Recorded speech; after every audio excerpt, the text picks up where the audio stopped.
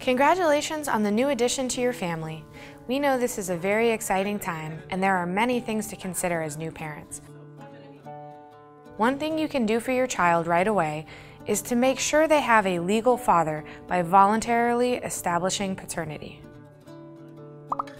Paternity means fatherhood. When parents are married, paternity is automatically established. When parents are unmarried, paternity is not automatically established. However, the process can and should be started at the hospital after the baby is born.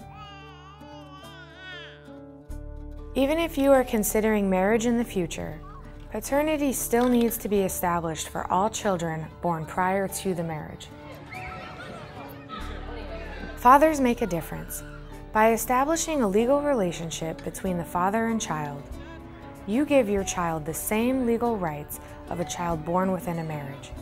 Having both parents involved in a child's life benefits the child in many ways.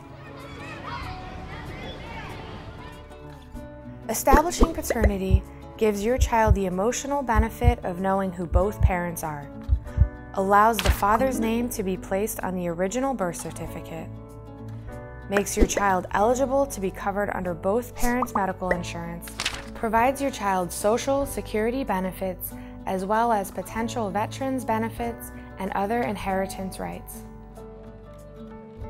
Children with both parents involved have better physical and mental health, perform better in school, are more likely to attend and graduate from college, and make more money over the course of their lifetime. Every year, hundreds of thousands of parents complete voluntary declarations of paternity. This process is quick, easy, free, and you don't have to go to court. Parents will be given the paternity forms at the hospital. A hospital staff member will discuss information about the paternity establishment process with the parents. When both parents sign the paternity declaration form, paternity is legally established. A signed declaration of paternity has the same legal effect as a court order establishing paternity. By signing the declaration, you are stating that you do not want genetic testing or a court hearing to determine paternity. By signing the declaration, you are stating that you do not wish to have a trial in court to decide the issue of paternity. To have notice of any hearing on the issue of paternity to have the opportunity to present your case to the court, including the right to present and cross-examine witnesses, to have an attorney represent you, or to have an attorney appointed to represent you if you cannot afford one in an action filed by the local child support agency. These are your rights related to paternity, and by signing the form, you are waiving these rights. If either parent is under 18 when the child is born, the signed paternity declaration will not legally establish paternity for the child until 60 days after both parents are 18 or legally emancipated.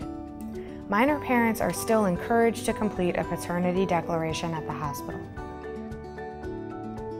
If you are unsure whether or not you are the biological father and you would like genetic testing to confirm paternity, you should not sign the form. You can contact your local Child Support Services agency at 866 901 3212 to discuss genetic testing options. If you need to cancel or rescind the paternity declaration, there is a 60-day time frame in which you need to complete a paternity rescission form. This form can be obtained from the Child Support Services Agency. A declaration of paternity may be challenged in court only in the first two years after a child's birth by using genetic tests that prove the man is not the biological father. It may also be overturned if the father or mother is able to prove that he or she signed the form due to fraud, duress, or material mistake of fact. You should contact the local POP coordinator immediately for information about the process. Remember, Establishing paternity greatly benefits your child, now and in the future. Ask hospital staff for the paternity forms today.